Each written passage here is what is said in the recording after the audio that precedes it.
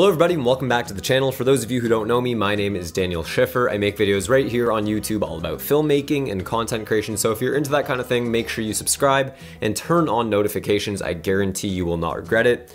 Today we're going to be answering one of the questions that I get all of the time, and that is how do I focus when using a gimbal? So if you didn't already know, I frequently use two different gimbal setups depending on the project, and my method for focusing also varies depending on the content. So let's start with my run and gun setup, which is the Sony a6500 on the Zhiyun Crane Plus.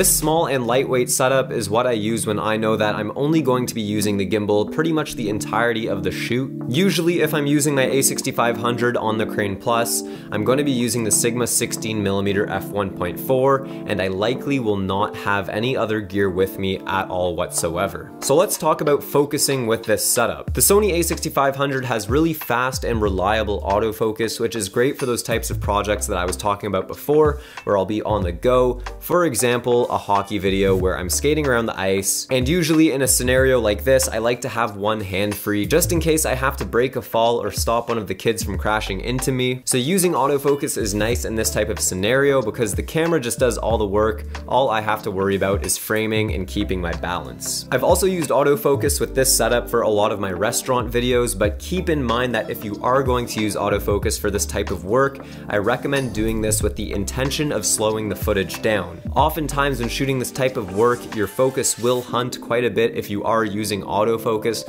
which is why I suggest shooting in that higher frame rate. So by being able to slow down your footage, that means that even if you capture one second of clean in focus footage, you can slow that down and stretch it out over the span of like five seconds, which is kind of cheating and I do this all the time. There's nothing wrong with it and it works out pretty well. Makes your footage look dramatic, but just keep in mind that you don't want to keep any of that focus hunting in your video because that will come off as looking kind of amateur. But let's say your camera doesn't shoot in a higher frame rate or your autofocus is hunting all over the place, or maybe you just don't want to use autofocus in general. Well, this is the scenario when you would use manual focus. When shooting in manual manual focus on a gimbal, you will probably want to close your aperture just a bit. By doing this, you can keep a lot more of what's in your frame in focus, and that way you don't have to worry as much about remaining the same distance from your subject because it won't look as noticeably less sharp if you do stray away from that distance just a bit. What's cool about using manual focus is that there's a whole bunch of ways you can get creative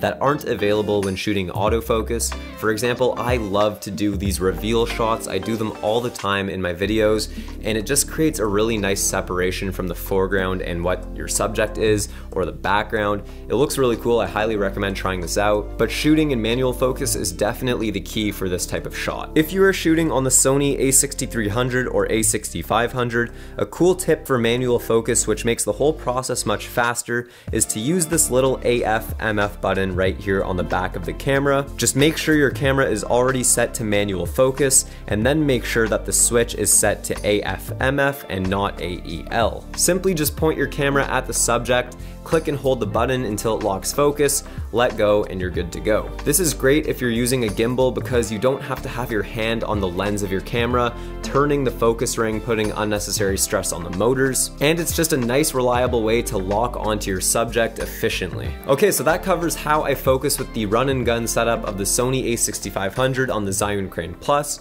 but how do I focus with my other setup? So when I have shoots that have more of a pre-thought out direction, whether that be from a storyboard or a vision going into a video, I like to use my Sony a7 III with the Crane 2. Generally speaking, this is my setup for the more professional style shoots that I do, where I'm bringing all the lighting and the audio and just have all my gear with me and I wanna make sure I'm getting the best, most crispy results and I have the most control over everything. And with this setup, setup of the Sony a7 III and the Zhiyun Crane 2, I used the new servo follow focus from Zhiyun because this allows me to get very clean and controlled focus pulls directly from the follow focus wheel on the Crane 2 handle. The results are extremely smooth and it takes gimbal operating to a whole new level. And the best part is that now I can have full control over the framing, the camera movement, as well as the focus while still getting creative with my shots. And another bonus about using the servo follow focus on the Crane 2 is that now I can use manual lenses on the gimbal and not worry about putting unnecessary stress on the gimbal motors